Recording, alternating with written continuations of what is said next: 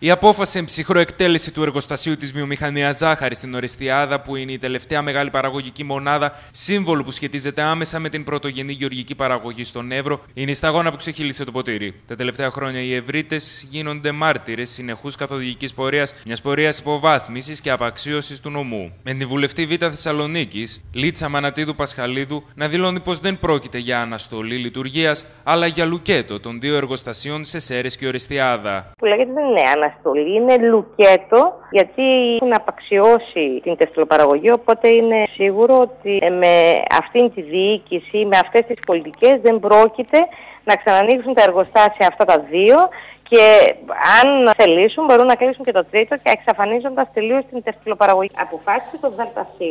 Ένα πλαίσιο λέει, μια μελέτη λέει για αναδιάρθρωση. Από εκεί και πέρα όμως, όταν λέει η μείωση του μισθολογικού κόστους, αυτό μπορεί να έρθει ε, και από τη μείωση στο 50% γιατί έτσι είχε αναφερθεί στη συνάντηση που είχαμε εμείς την Τρίτη πριν το ΔΣ με τον ε, Διευθύνων Σύμβουλο των Χαραλάμπους, ε, μαζί με την Αφροδίτη τη Σταμπουλή και τον Τάσο Κανταρά που είναι υπεύθυνος ε, ε, για τα αγροτικά από την πολιτική γραμματεία του ΣΥΡΙΖΑ. Ε, αυτό που αντιληφθήκαμε ήταν ότι το 50% μπορούσε να πάει και σε μείωση των μισθών των εργαζομένων και σε μείωση ε, του προσωπικού. Αλλά κοιτάξτε να δείτε, από τη στιγμή που δεν έχουν επαρθεί εποχικό προσωπικό όπως ε, φέτος, δεν πήρανε προσωπικό εποχικό στην ε, Ορεστιάδα και στις αίρες παρά μόνο αγγελιοφόρους και γεωπόνους, δηλαδή για τα χωράφια και δεν πήρανε συντηρητές για να μπορέσουν ε, τα εργοστάσια να λειτουργήσουν. Άρα από εκεί ούτως ή άλλως έχουμε μία μείωση του μισθολογικού κόστους. Άρα τα υπόλοιπα που μας λένε για τα 9 εκατομμύρια είναι μάλλον μία